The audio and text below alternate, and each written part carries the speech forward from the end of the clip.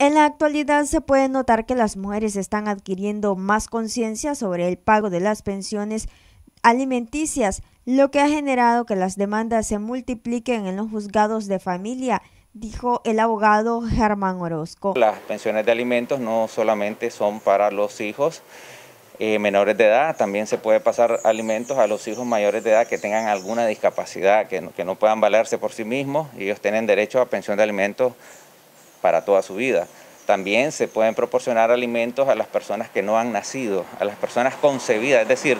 la madre no tiene que esperar que nazca su hijo para poder pedir una pensión de alimentos, sino que la ley establece que desde que está en el vientre materno, desde que está el hijo concebido, ya tiene derecho a recibir alimentos y puede interponer su demanda en ese entonces.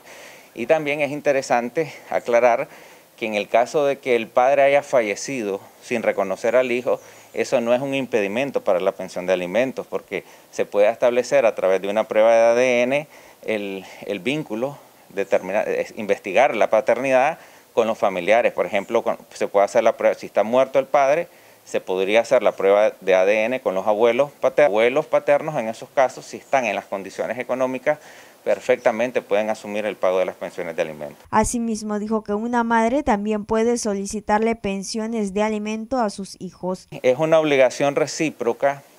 que establece eh, recíproca en el sentido que así como los padres están obligados a proporcionar alimentos a sus hijos, en caso de que los padres tengan necesidad y los hijos ya sean mayores de edad, también los hijos están obligados a pasar alimentos a sus padres. Y en, um, estos últimos días, pues en estos días recientes, anda circulando una sentencia que ha generado polémica, porque un juez ordena el pago de pensión alimentos a una progenitora que no crió a sus hijos y se ampara pues en el Código de la Familia que dice que se va a determinar el,